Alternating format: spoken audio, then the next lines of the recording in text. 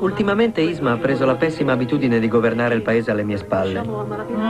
E io ho deciso che deve piantarla. Allora, io ho doppiato Isma, che è una, um, la consigliera dell'imperatore, però è un'infima consigliera, nel senso che profondamente vuole prendere il posto dell'imperatore e uh, utilizza tutti i mezzi, quindi è da una parte un personaggio un po' cattivello, dall'altra parte un personaggio che poi finisce, mm, non lo possiamo dire, ma insomma un po', un po punito, quindi fa anche un pochino tenerezza. È disegnata in maniera adorabile, ha due occhi grandissimi, quattro quattro ciglia solo che spuntano e soltanto i denti qua davanti però è secca secca come un teschio e, e sempre parla aprendo la bocca e sembra un piccolo pozzo, una voragine. E, ehm, la doppiatrice che l'ha doppiato l'attrice che l'ha doppiato in lingua originale è eh, bravissima quindi sono onorata, stipulata di cercare, insomma, di aver cercato di fare anche quello che ha fatto lei, secondo insomma, la, la, legge della Disney, per cui bisogna essere molto fedeli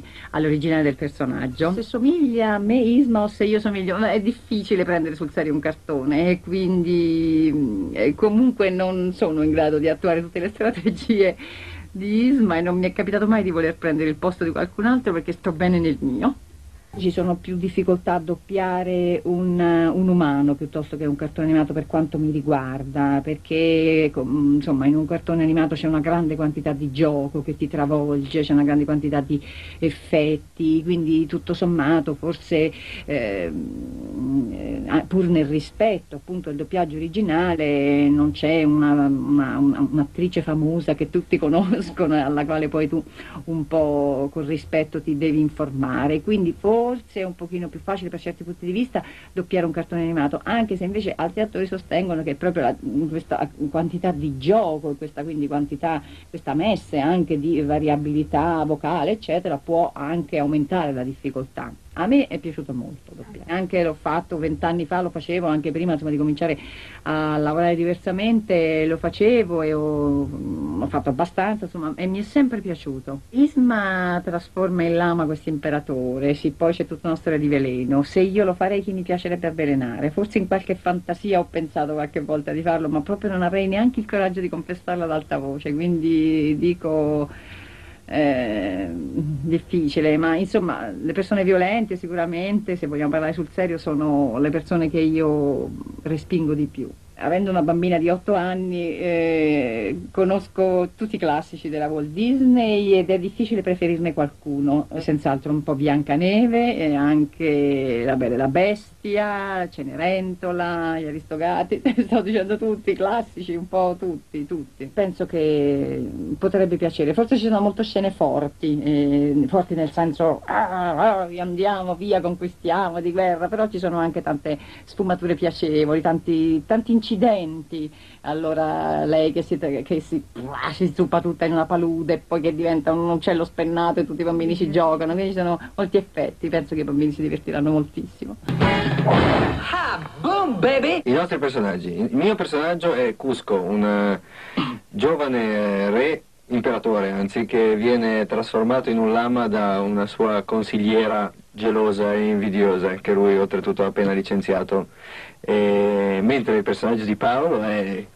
Di secondo non saprei. Kronk, accidempoli come sei bravo. Il mio personaggio si chiama Kronk, è mm, questo bonaccione che commette un sacco di azioni cattive nei confronti di Fusco perché appunto trascinato da Isma, eh, che è una bruttissima compagnia per lui, in realtà lui è è un tontolone, non gli capita credo mai nel film di capire una cosa alla prima volta in cui glielo dicono, non capisce mai niente, quindi è piuttosto buffo, mi ci sono ritrovato molto. Cosa hai detto? No, non ho detto ah. niente, non ho detto niente. Quindi questo è Kronk. In senso buono ovviamente. Io più o meno sono la metà. Eh, come fisicamente e anche rispetto al doppiatore americano che ho visto, o del quale ho visto una foto, è un, mastodonte, quindi non, non, ci sono molte somiglianze fisiche e neanche insomma, intellettuali.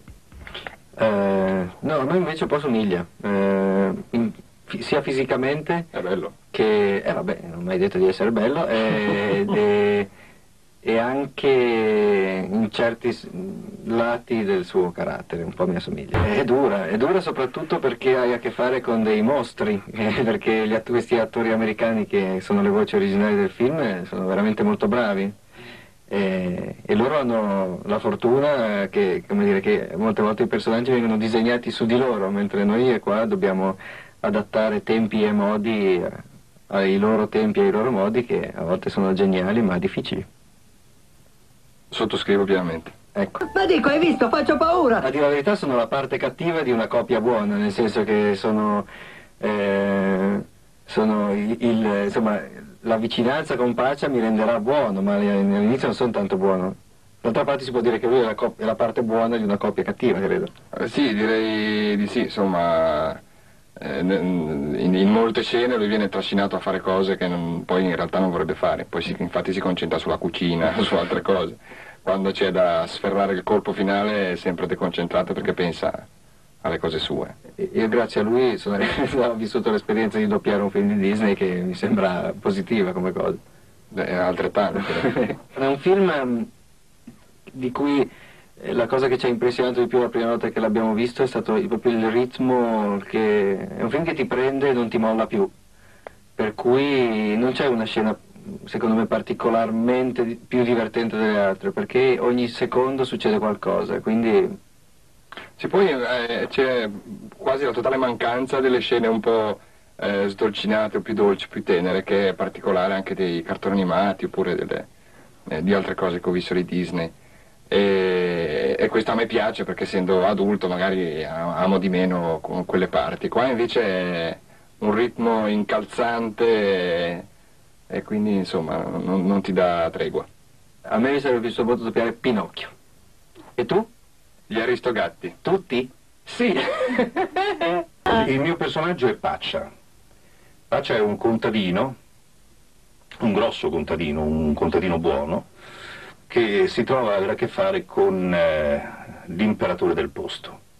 L'imperatore del posto nella storia poi cambia, muta, diventa un'altra cosa che non vi dico perché mi interessa vedere il film poi.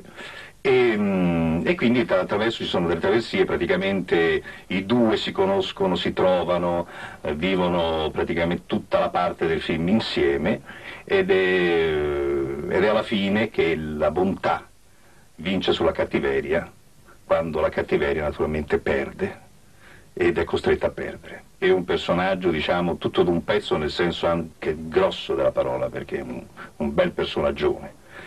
E, mh, profondamente, ripeto, buono, eh, ha dei momenti in cui eh, si prevede anche una certa stupidità, ma non lo è è la sua bontà che lo porta anche a essere ingenuo e quindi probabilmente anche stupido in certi momenti. Il cartone animato è più facile ma anche più difficile in un certo senso, perché mentre diciamo, un attore in carne ed ossa ti dà la possibilità attraverso le espressioni di riempire e di incollare, come diciamo noi, in gergo del doppiaggio, ecco un cartone animato invece bisogna eh, aiutarlo nell'espressività, quindi diventa anche più, più difficile in un certo senso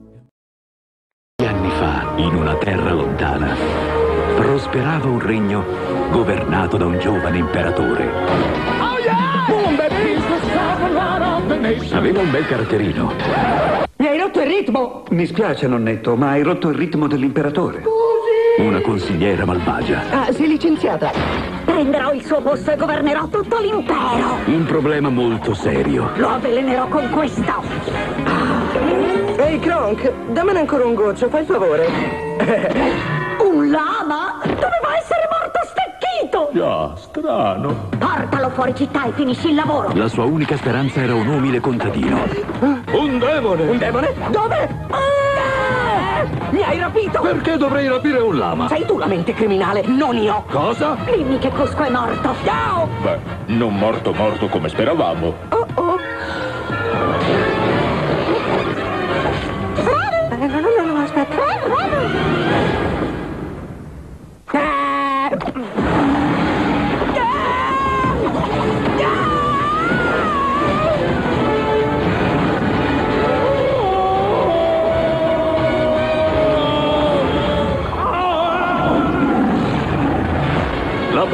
oh! salta vostra altezza, adesso è al sicuro.